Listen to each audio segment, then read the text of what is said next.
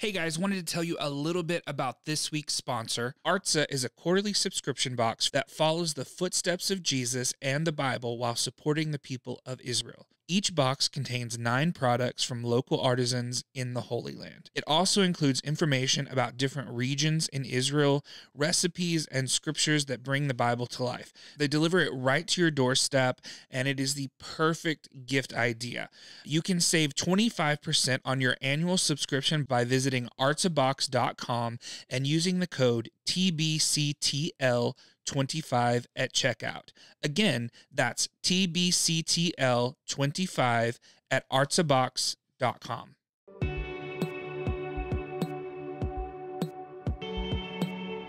You're listening to Heart of the Father, a podcast from Pastor Eugene Weldon. For more information about our ministry and how you can get involved, text the code Kingdom Life to 94000. That's Kingdom Life to 94000.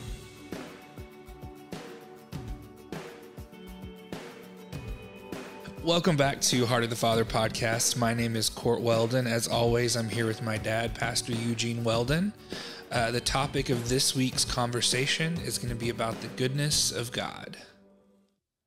I just shared a message at Christian Missions about the goodness of God, and and, and I believe that we've got to look at the goodness of God and look and see what the goodness of God is, and and what it represents, and and what it amounts to, and, and it's something that that you know, I go back a lot of years of study and looking at things, and and, and there was a, a pastor that I, I read books of, of and listened to some of his teachings years ago, Kenneth Hagin, and he said that the the glory of God is the manifested presence, the manifested power, and the manifested goodness of God. Well, Moses cried out in Exodus 33, and he and he said, God, show me your glory.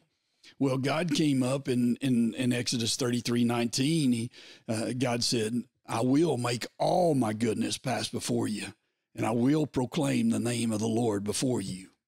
I will be gracious to whom I will be gracious, and I will have compassion on whom I will have compassion.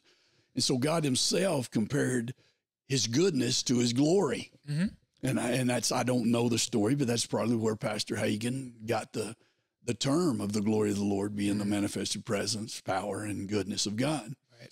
Okay, then you go to Romans chapter 2, verse 4, and he tells us that it's the, uh, the goodness of God that leads a person to repentance, a man or woman to repentance. Mm-hmm. Okay, and so it's that goodness of God that brings that person. Right, and we know that without repentance, there is no reconciliation. And so there's for sure, even in the midst of that, having an understanding that it's God's goodness that draws you in and it's the condemnation of the enemy that separates you from him. Exactly. Just like a, a, term conviction is used a lot of times, you know, and condemnation. And in Romans, he tells us there is no condemnation for those who are in Christ Jesus. Okay, I believe it's it, it's my belief that when the Holy Spirit begins to move upon a person, and, and, and if he's convicting them to his to the, of their sin, then it is drawing them to God. Right. Okay, when the enemy is, is, is condemning a person and the enemy is bringing condemnation, when they feel condemnation, well, what condemnation does is drive a person away from God. Right. It's it's encompassed with fear and terror in a lot yeah, of ways. Totally. Yeah, totally. It, it, when we're being condemned, we feel like God can't even accept us Himself. Right. right. And so it's that goodness of God. And, and, and one of the things is I was studying and reading, you know, and, and in that, that, uh, Exodus 33 19, uh, when you study in the Hebrew and the Greek and you study in all those things, you'll find out that he, as he begins to, to talk about his goodness, uh, Strong's describes it as uh, God says, My goodness speaks of the sense of the wonder of God, of his divine attributes, of his essential worth and his majesty. Many years ago, I did a teaching about we did not understand the majesty of God, the glory of God. We don't understand that. And, and we've got to come to that full saving knowledge that it's about him. It ain't about us. Right. Right. Okay, he created us to be a, a holy dwelling place of God in the Spirit. He's building up a holy temple not made with hands. Well, that's me and you. Right. We don't attend church. We is the church. That's what we've been t- preaching for 35 years of my life. And, mm-hmm. And, and that's something that, that is, you get into the goodness of God and you think about the goodness of God. And, and as, as Romans talks about the, the, the goodness draws a person to repentance. Okay, and then then as you look at it and think about it as the glory of the Lord, Habakkuk 2:14 says that the earth will be filled with the knowledge Yep. of the glory of the Lord Mm. as the waters cover the sea. Well, that's a total covering. And so God's church is going to come to a day and a time that they are going to understand Right. that total glory of God, that total goodness of God, because it's going to cover the earth. Well, how's it going to cover the earth? By you and I Right. for us understanding that that message of the kingdom, that gospel, that message of the gospel of the kingdom Mhm. is about you and us, you and I being his sons and daughters Right. and it's representing him as Jesus is. So are you and I in the world. We walk as he walked, talk as he talked. So we bring his goodness in everywhere that we're at. Right. We bring his manifested presence, his manifested power, his manifested glory. So when I talk about the goodness of God, I've got to bring about that that it's the glory of God being presented. Okay, when you get down in Galatians and it it tells us the fruit of the spirit is love, joy, peace, goodness. Yep. Okay, and so one of the attribute attributes of that of the fruit of the spirit, and he doesn't say fruits; he says fruit. The fruit of the spirit is love. Yep. Okay, because He as is he love. is, so are we, Yep. and he is love. And so Yep. then the attributes come across in that in that joy, that peace, that patience, that gentleness, that Correct. goodness, that self control. Mhm. He comes across in those things, and and David in the Psalms wrote many times about the goodness of God. Just a few of them in Psalm 16, 2. He said, Oh, my soul, you have said to the Lord, You are my Lord. My goodness is nothing apart from you. David understood that he had nothing. It's just like our righteousness is, is filthy rags. It's his goodness, it's his love, it's his peace. All of the attributes are his, and he's given them to us. Right. His spirit lives within us, so we have all of those attributes of the Holy Spirit mm-hmm. Within us, and so that's how our our our goodness, our, our God's goodness, goes throughout the world. Okay, in Psalms thirty one nineteen, oh how great is your goodness, which you have laid up on those who fear you, which you have prepared for those who trust in you, in the presence of the sons of men. So mm-hmm. God has laid His His goodness upon us through His Holy Spirit. Right. Okay, and and in Psalms 52, why do you boast in evil, O mighty man? The goodness of God endures continually. Okay, so they go together just like with that Habakkuk. The goodness Yep. of God's going to go throughout the earth. Right. And and I want to emphasize as well in Habakkuk when you talk about the earth will be filled with the knowledge of the glory. And I think that's what a key part that's been missing in the church and in the world is the knowledge of who God is, the knowledge of his goodness. And we've talked about this in one of the previous podcasts.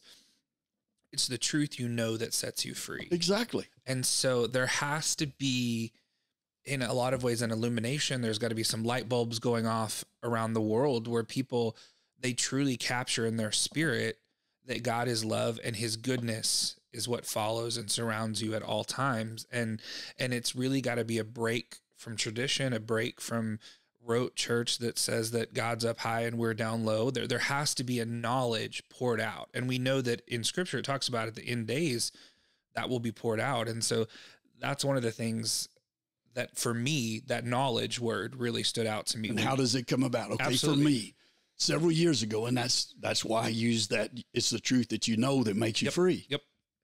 Okay, years ago, God spoke to me, and I was crying. I God, just show me your truth. Tell me your truth. Give me truth. I need truth. Mhm. And very quietly and very plainly, he said, Eugene, truth is not the key to that scripture. You shall know the truth, and the truth shall make you free. The key to that scripture is knowing. Knowing, yep, It's that knowledge, that knowing that you have. Yep. In the book of Proverbs, he says, pursue wisdom. hmm And, and with your getting, get understanding. Yep. Okay. And so one of the revelations God gave me is to pray for the lucidity of his word to go forth. hmm Okay, well, that's one of those big words that I don't use in my vocabulary. And so when God gives me those words, I have to look them up. Okay, lucidity means to receive directly and instantaneously. It's that wow, the light bulb went off. Yeah, it's like a rhema word. Wow, there it is. hmm hmm You know, and that's the deal is we begin to pray for people for the lucidity of his word to go forth. Yep. And all of a sudden, it was like the, the, the rock wall was down and people were receiving. And so I believe that's something that everyone can pray is for the, that lucidity of the, the lucidity of God's word, Right. them to receive that knowledge of the truth. Mhm. Okay, because it's that knowledge of the truth that's going to make you free. Okay, and so a practical way the, to explain the goodness of God, okay, i- is I've had some dreams in my life. And when I had those dreams, God spoke to me in different ways. Okay, there's other times that God has spoken to me just in a still small voice, that whisper. Mhm. And, and it's always the Holy Spirit that speaks to us. Right.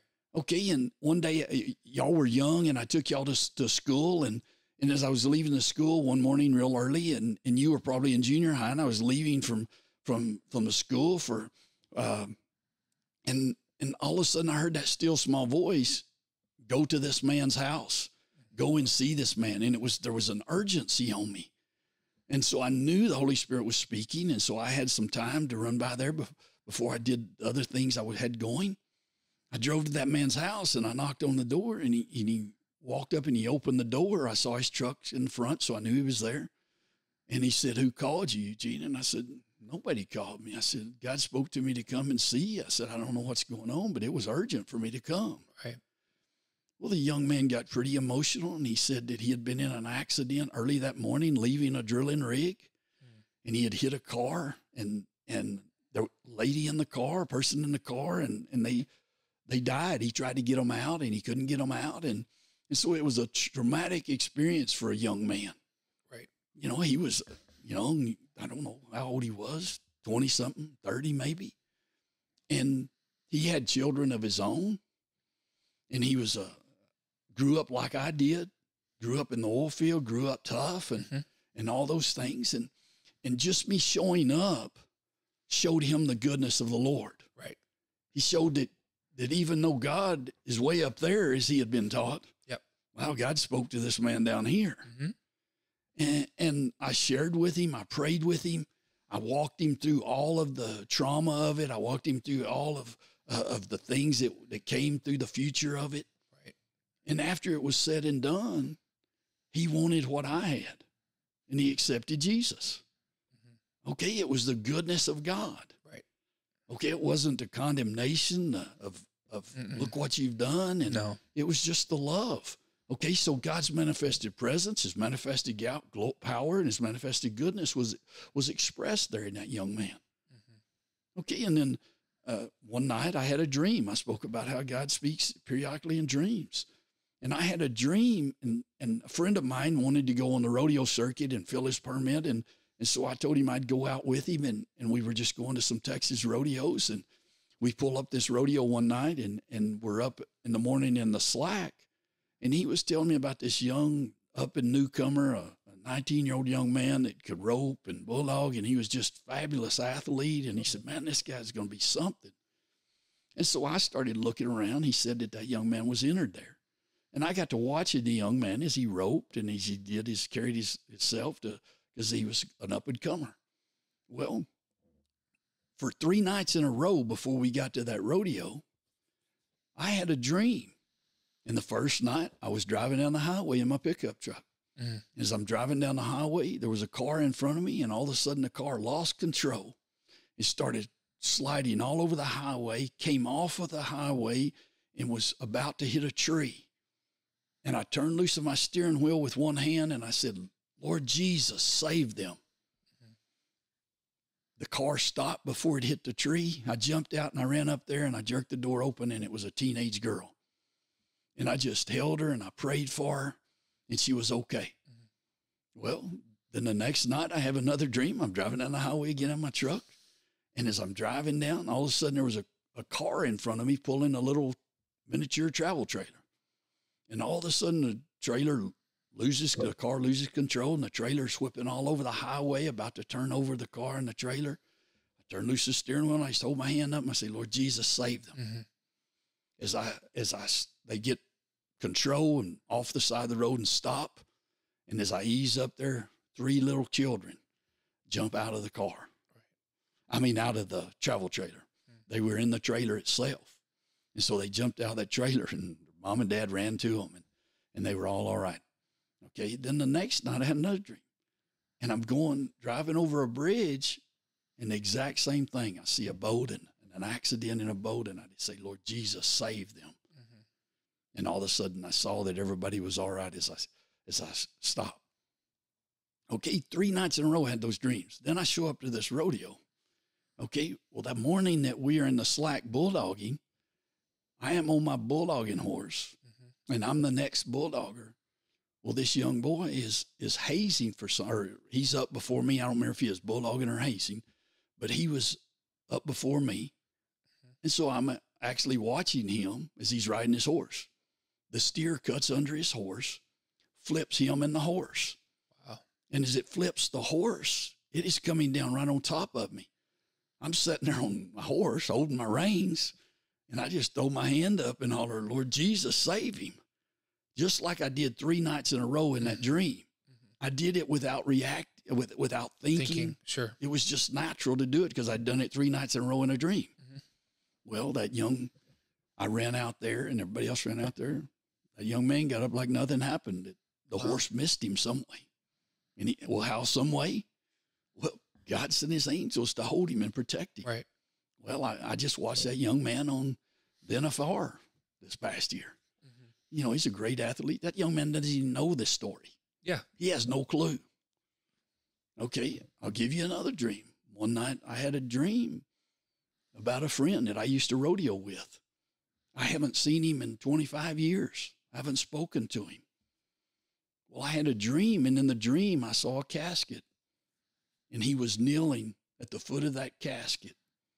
And I saw him back in the day when we were rodeoing, and so I knew it was him.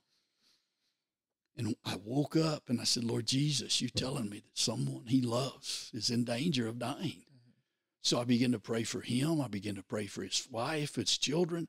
I have no idea what he has. I ain't seen him in 25 Sure. years. I don't know if he has children or not. Well, I prayed for him for a couple of weeks because I didn't know what was going on. I called a mutual friend and I said, Hey, you know what's going on, our friend? I, I had a dream about him and, you know, and I've been praying. And, and he said, No, but I'll call him. And he called me back and said, Man, the guy's good. I called the, the guy. He gave me his number and I called him and I said, Hey, I thought about you. I hadn't seen you in a long time. I was thinking about you and praying for you. I just want to check if you was all right. And he said, Mhm. Oh, yeah, I'm good.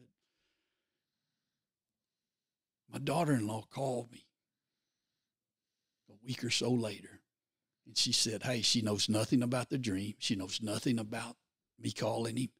And she said, Hey, I know that you were friends with this man and his son was in a bad car wreck. Mm. And he said, He's alive today and he shouldn't be alive. She said it was an unbelievable wreck. And she Yeah. she sent me the picture of the of the vehicle. Yeah. And it was flat. Wow. But he lived through it. Yep. And after I she told me, I said, Well, I had this dream and I told her the story and she said, Oh my gosh, she, he's alive because you were praying. Mm. And she sent me a picture, and sure enough, it looked really bad. But the young man is alive today. Right. Okay, they don't know anything about that. Yep. And so that's the goodness of God. Mhm. And that's not just something for Eugene, Yep. that's for every Everyone. person that's listening. If you will allow the Holy Spirit of God to move within you and through you, Mhm. then that manifested glory of God, that glory of God, the manifested presence, the manifested power, and the manifested goodness will be exemplified in and through you. Right. Yeah, and it reminds me of Psalms 23 6 that says, Surely your goodness and love will follow me all the days of my life. Yeah, it's the, the 23rd Psalm Yep. that we all quote. Yep, Surely goodness and mercy shall follow me all the Yep. days of the, my life, and I will dwell in the house of the Lord forever. But I don't think people recognize it as encompassing his goodness and encompassing his love in and through how they pray, in and through how they interact with other people. It's it's got to be something that we take on as a mantle that our job is to represent God's goodness, but we first have to receive it for ourselves and understand that it is for us to get. It's His and it's in us. Yep. The biggest thing I get from people is why me? Yeah. Well, why not you? Right. Jesus learned obedience through the things he suffered. hmm You know, Jesus learned obedience in the wilderness, Right. and he went through some tough things.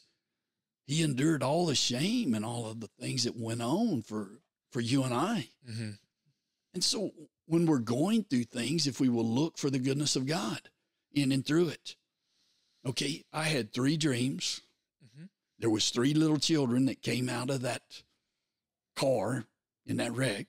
Okay, and so I look at the number three, and and, and when you look at the, the the number three, it means perfect completion. Hmm. Okay, and so was I praying for people in those dreams? Yeah, could be. But the third, uh, the the three dreams led me to be sitting on a horse in an arena and say, "Lord Jesus, save him." Right. And so for me, that was the perfect completion of those three dreams put together. Mhm. Okay. Well, on March the 21st of, of 2022, a category three tornado Mhm. hit Jacksboro, Texas. Mhm. Okay. The category three tornado destroyed 80 houses Right. in Jacksboro. Mhm. Eight means new beginnings. Ten means God's perfect order. Mhm. And so God tells me that God is giving Jacksboro a chance for a new beginning New beginning. to put things in perfect order. Amen. I've stood on the courthouses. I've walked around them. I've stood on the Mhm. courthouse. I've walked around the schools, and I and I've declared and decreed Yes. and proclaimed and screamed and hollered and that Jacksboro is the Lord's, Yes. and, and I've declared that. So I believe that God is. If I look in that and I see, okay, the tornado hit our elementary school, destroyed the gymnasium there. There was 500 students in there, probably another 50 teachers and workers. Right. Not a soul was harmed. Mhm. Parents were lined up to pick their children up at three in the afternoon. No one was harmed. It went across the highway to our high school, hit the gymnasium there. There's another 280 children and teenagers and, and 100 teachers or whatever they've got over there. And not a soul was harmed. That to me is the manifested glory of God. Yes. Yeah, because it could have very easily been devastation of life. Totally. It could you, we could have lost 500 students in elementary with Yep. all of the workers, the teachers. Yep. It could have hit high school the same way and, and killed another 300. We Yep. could have had a thousand or more Easily. in a category three tornado going Mhm. through housing additions yeah, and in a town of in a town, 4,500 people. town of four, that would have been devastating. Yep, absolutely. So people got to step back and look at the glory of God. Right. Okay, I look at that that uh, uh, category three tornado, and as I look at that, you think about the things that have taken place. Mm-hmm. On the th- third day, God created the the world. Mm, On the third day, uh, Abraham went to the place and saw the place that God told him to act, uh, to sacrifice, Mhm. and and Isaac said, "Where's the sacrificial lamb?" And Abraham's got, said, "God will provide." Yep. Yep. God will provide. Well, then you look at, at at the third day, God came down on Mount Sinai and spoke to the people. You look at at at the third day, Jesus rose from the dead. On the third hour, Jesus was crucified. On the uh, there was three crosses. Okay, there was three hours of darkness. There was three words that Jesus spoke. It is finished. the final words that Jesus spoke. Okay, you look at all of those things, then we've got to think about what's going on round about us. Mhm. Peter denied Jesus three times, and Jesus restored him three times. Peter, Mhm. do you love me? So if I'm going to talk about the goodness of God, I'm going to look around and see where God is at in the storm. Absolutely. Okay, God is everywhere and God is all encompassing. God knows all, sees all, is Mhm. everywhere. Okay, storms are inevitable Yes. and storms are going to come in our lives. But we have to be willing to see the goodness of God in and through those storms. Yeah, we have to make that choice because it's very easy to get bitter and upset and angry and frustrated at God in the midst of something like this. Like, Well, we want to blame God on it all. absolutely. God, why did God do this? I'm not saying God did this. hmm No, but what he will do in the midst of it will bring about his glory. His that manifested is- presence, his manifested power, and his manifested glory. I can tell you testimony after testimony. There was a, a lady sitting in a double wide mobile home in between her toilet and her, and her bathtub. And the tornado hit right behind her house, destroyed a travel trailer, wiped it off the face of the earth. Mhm. And the lady that was in it, her husband pulled up and got her out of it five minutes before. Right. As they were driving back to town, the, the trailer was demolished. Yeah.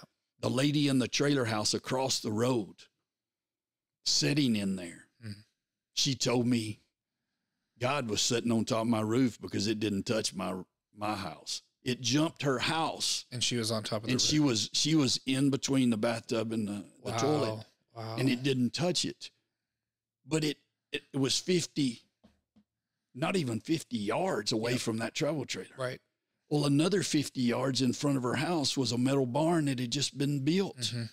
Mm-hmm. It was probably a, a 40 by 40 metal barn. Right. That barn was gone. It was mm-hmm. totally wiped out. Mm-hmm. Behind her, another probably 100 yards behind her was a double wide. It was totally Right. wiped out. And there was a dog in there, a family dog. It was not even harmed. Wow. I can tell you a story of a young man that went in the house to go to bed because he had been working all night. And his mother called him and said, Don't go to bed. There's a storm. And he said, Oh, mom, it ain't nothing. And he walked outside and he said, Oh my God, mom. And he ran and he dove into the closet. Mm-hmm. The whole house is destroyed except for that closet. Mm. He said he felt arms holding him. Wow. I can tell you story after story that took place in this little community. Yep. For me, that's the goodness of God. Absolutely. That's his manifested presence, his manifested power, and his manifested glory. Okay, so I'm going to look at for God in the midst of these Yep, storms. Absolutely. I'm going to look for his goodness because his goodness is never ending. His Never goodness ending, is eternal.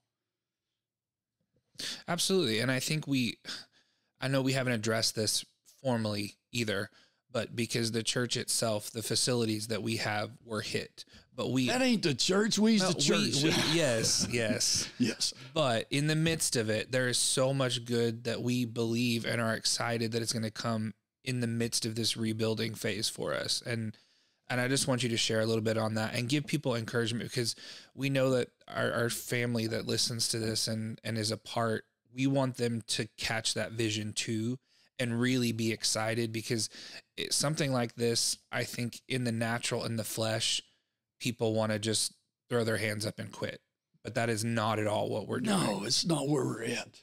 And and my personality, they ain't no quit in me. No. And but that building, it's just a sheep shed. It's a nice place to get out of the weather. Mhm. We don't attend church. We is the church. Where it, it's always about the people, Yes. and we've made it about buildings. We've Mhm. made it uh about programs. We've made it about personalities, you know, and, and and all of those things is what we've made church. Right. God is giving the church in the United States a wake up call Mm-hmm. okay, the night that the tornado hit at three o'clock that it hit in Jacksboro, Mhm. that night, 18 tornadoes hit the state of Texas. Wow. Okay, if you look Wow. at the number 18 and, and, and you see what the number 18 means, the number 18 uh, speaks of redemption, it speaks of everlasting life. Yep. Yep. Yeah. Okay. it- yeah. 18 means life in Hebrew. It means life. Mm-hmm. okay, eternal life. Yep. Okay, God has given us eternal life, and the negative form of, of 18 means the sin of the flesh. Mhm. Okay, we've let the flesh rule long enough in the church of the living God. Right. Okay, and so we've got to see that God is giving us a new beginning. He's going to put his church in perfect order. Mhm. He's going to restore his perfect government. Right. All those things are going to be restored. Just a few months ago, mom and I were praying, and I'm in a place that everything is his. I am here for him, whatever he wants. And as I'm praying, I said, Father, if you're through with Christian missions in Jacksboro, Texas, if you have something else that you want Sadie and I to do, it's yours. You do what you want to with it. Mm. If you want to blow that structure off the face of the earth, blow it off. Right. You do what you want to with it. I'll do anything and everything you want me to do. Mm. And then I had a deacons meeting before I left Jacksboro. Yep. I was on my way to Houston, Texas on March the 21st. hmm I was an hour or so out of Houston when I got the first telephone call. Mhm.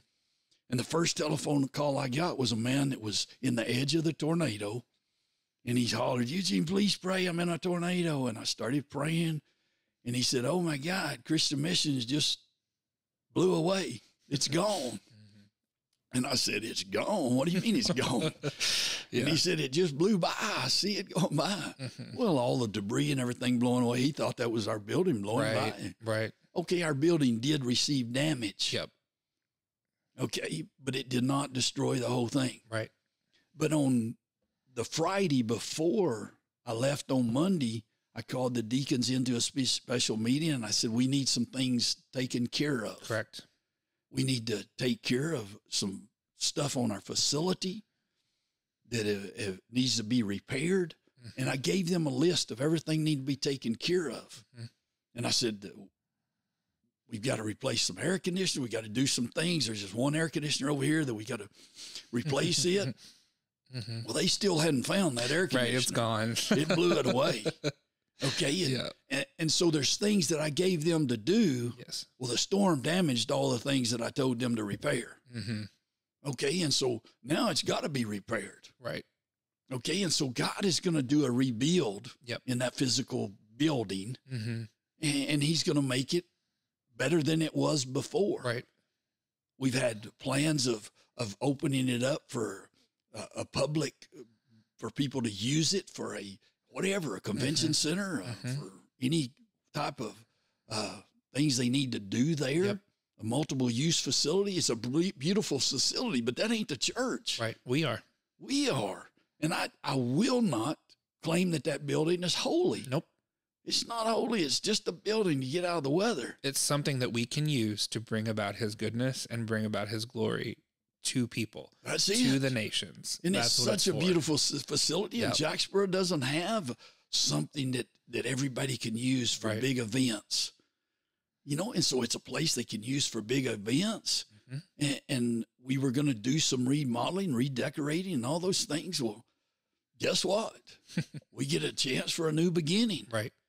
Okay. And, and in and through all of this, you've got to look at God's goodness in it. Hmm You've got to see what he's doing and, and, and what he wants to do in and through it. Right.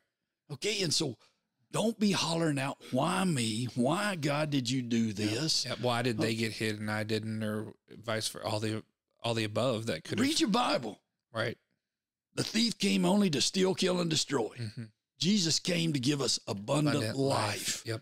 Okay. The number 18 means abundant life. Mm. The enemy is trying to kill, steal, and destroy that abundant life Right. through 18 tornadoes in Texas Mhm. on March the 21st, 2022. But God manifested his goodness. hmm He showed his glory. hmm Just like when Moses said, God, show me your glory. Yep. God said, okay, Moses, I'm going to allow, Yep. I'm going to allow all my goodness, all my goodness all to of walk it. by you. All of it. All of it. And I heard a, a preacher tell us at the beginning of this year if we wanted to receive all God had for us. That's exactly right. yeah, that is exactly the word that the Lord gave you for this year. That's the word. And the word with it was God is about to shake everything that can, Can be, be shaken. shaken. Mm-hmm. The refiner's fire is here. The refiner's fire is to reveal things hidden. Right. I was on my way to Houston, Texas mm-hmm. because I couldn't breathe. Right. Three and a half years ago, I had a triple bypass. They told me they're going to do a quadruple. Mhm. They did three, and I said, why not the fourth? And he said, oh, I thought it was all right. Yep. A year later, I still couldn't breathe. Changed doctors because they said there was nothing wrong with me. Another doctor looked and said, Your main artery is 99% blocked on top. And it's the one the man was going to bypass. I don't know if his wife called him. I don't know if I was having trouble. Right. I don't know if he got tired, but he didn't do the fourth one for some reason. Well, because the enemy comes only to steal, kill, and destroy. Right. But Jesus came to give life and give it more abundantly. That's the goodness of God. Okay, they put a stent in. We fast forward another year. I was still struggling breathing. I went in the hospital for five days running tests every day. Yep. One minute I'd have oxygen in my blood, the next minute I wouldn't, and they couldn't find out why. Mm. So it kept progressing. Yep. And so we found another doctor in Houston.